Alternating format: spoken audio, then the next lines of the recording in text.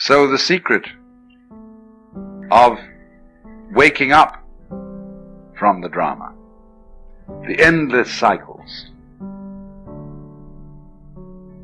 is the realization that the only time that there is is the present. Well, good day, YouTube.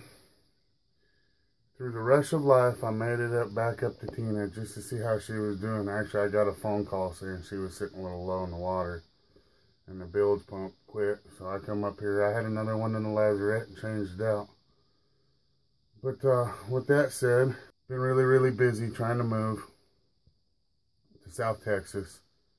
With that said, I'm on Tina. She's looking good. Uh, and it's quite an emotional thing when you uh, get on a boat. But here's a project I got for her. You see this floor? Somebody glued carpet down on this beautiful teak floor. And if anybody's got suggestions on how to get this glue off the teak and off the fiberglass, please leave a comment down below. With that said, that's the main thing I got to do. Other than that, I'm going to change that stove out. And uh, we're going to scrub her down and paint her, make her look pretty. With that project aside, I laid down that night, listened to a bilge pump run, and then it run again. So I started digging around the boat, found a broken gate valve. We had a bunch of freezing weather, and that's probably what broke the gate valve. With it leaking the water in, the bilge pump was running and running and running, and that's probably the reason why the previous one went out. So, this is where I found my leak. I ended up taking, you can see there's some duct tape, a piece of wood, and a hose clamp to plug the hole off temporarily. I got some of this, this stuff. I'm gonna go get a wire brush today. I'm gonna wire brush her down and cap it off with some epoxy till I can get her out of the water. But this was practically a free boat, so had to have some work done. That's just all there is to it. Here we are on our maiden voyage. Not a voyage I wanted to do. Kind of sucks, honestly. I don't know nothing about this boat, and I hope it makes it there. Anyways, with that said, here's a look. Lake Texoma.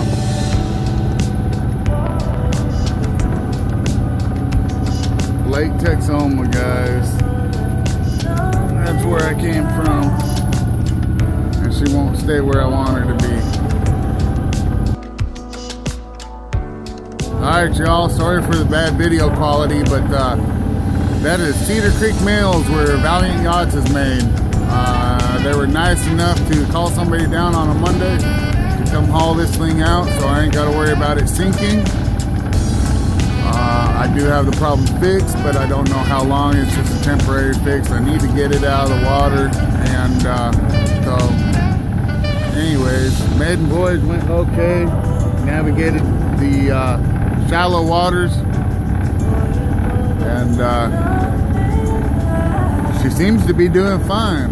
My oil pressure hasn't dropped. My temperature come up to normal, and uh, yeah, a few weird noises, but you know, the boat hasn't gone anywhere in probably 10 years. The first time this boat's moved in 10 years. I do got to hold my hand on the throttle though. But, uh, Sailing Dutchman signing off. Have video when I holler out. Talk to y'all later. Thank you to my subscribers. Subscribers. it's colder than, yeah, it's cold out here today. Anyways, Later, y'all.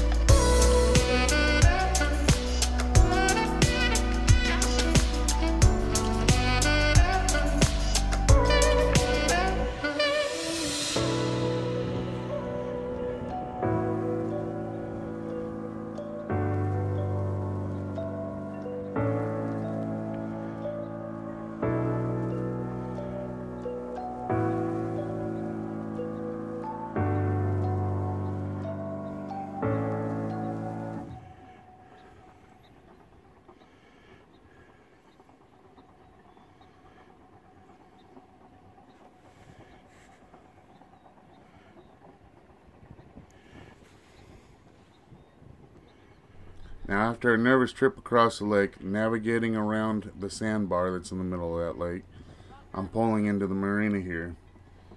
He's wanting me to back the boat into the lift. Now, this is the first time I've ever driven this boat, sailed this boat, whatever you want to call it. But in the end, I got her in there without a hitch, and he really didn't believe me that uh, this was my first time doing anything of this sort.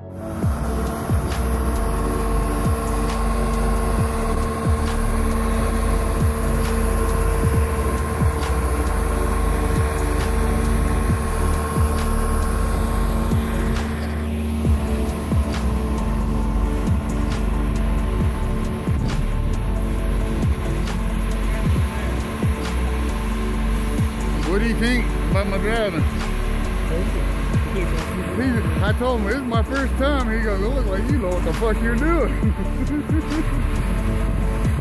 can't even see my phone to see if it's Uh, I can't either. I just. It's amazing how they pick them up, twist them, and.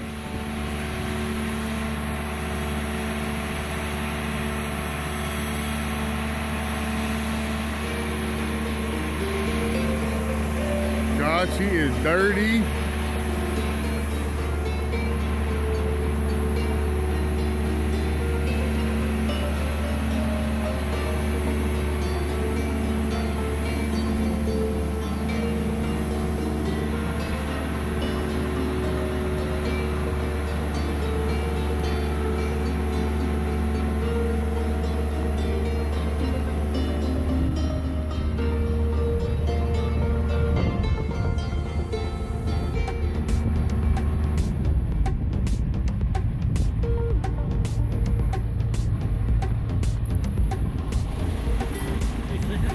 Thank you very much.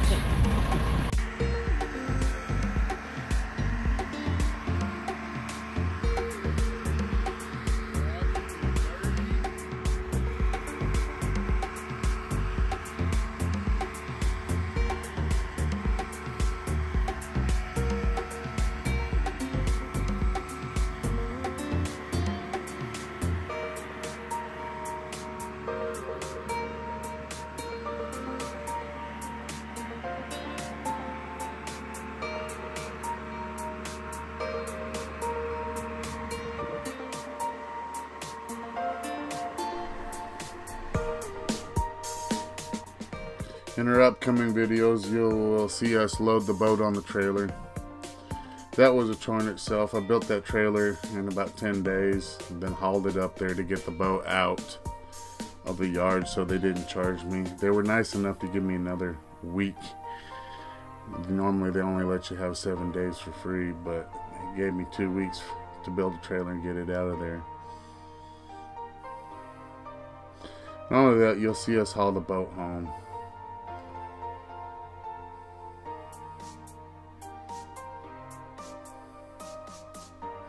These guys here is John, Mike, and Lawrence. The guy on the right's the one that gave me the boat.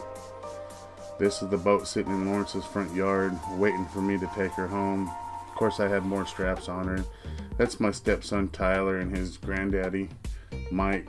Great help. Couldn't have done it without him. There's Lawrence again. This is when I picked up the boat and decided to bring the boat home.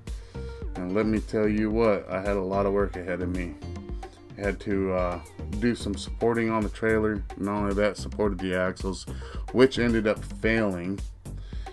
I ended up blowing tires out. I went through six tires trying to get this boat home. So I ended up building new axles, as you can see here, with a whole new carrier system to weld on the trailer. In the meantime, while all this was happening, I was also dealing with a flood and not just once but my house flooded twice. And uh, this was the worst of it here. Uh, I lost pretty much every tool in my garage all my lawnmowers weed eaters and all that. And there's a glimpse to see what's happening. We got big things coming and I do have some sad news to announce in my next video. So thank you. Like and subscribe